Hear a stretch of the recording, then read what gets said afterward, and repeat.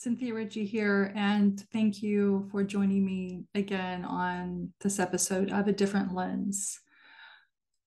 As I mentioned in the previous recording, uh, some of the things that I, I want to try to do is read to you directly some of uh, my own writings and including uh, materials that I've collected from individuals across my time and travels uh, in Pakistan.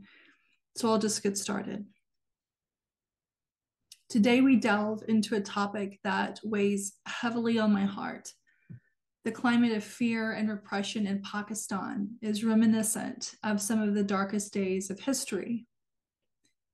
In recent years, Pakistan has witnessed a chilling erosion of human rights accompanied by a growing atmosphere of fear and intimidation a climate has emerged that can only be described as Nazi type fear, an environment where dissent is met with brutality, the media is muzzled, and journalists who dare to speak truth to power pay the ultimate price.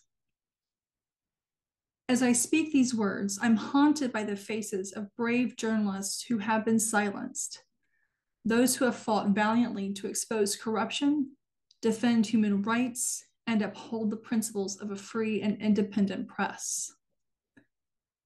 In Pakistan, the very essence of democracy is being suffocated.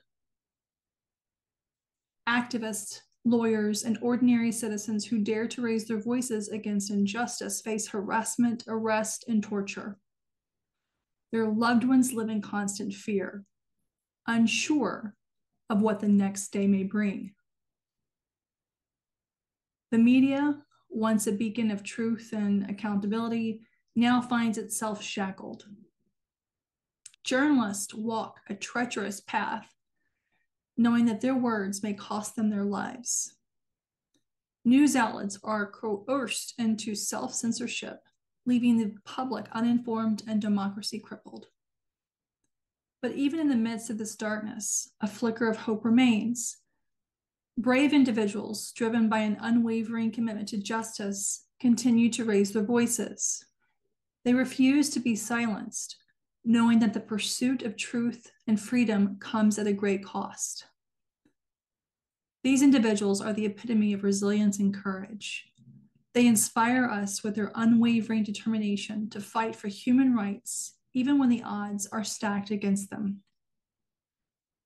Through a different lens, I aim to shed light on these unsung heroes, to amplify their stories, and to challenge the world to stand in solidarity with them.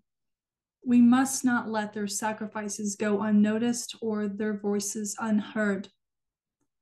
I call upon governments, international organizations, and individuals around the world to unite in their support for the people of Pakistan. Let us condemn the suppression of human rights, demand the protection of journalists, and advocate for the restoration of a free and independent media. In closing, let us remember the importance of a free press and the critical role it plays in any functioning democracy. It is our collective duty to ensure that the voices of the oppressed are heard and the pursuit of truth is safeguarded. Thank you for joining me on this journey through a harrowing reality. Together, I hope we can continue to view the world through a different lens and work towards a future where human rights are cherished, justice prevails, and freedom reigns.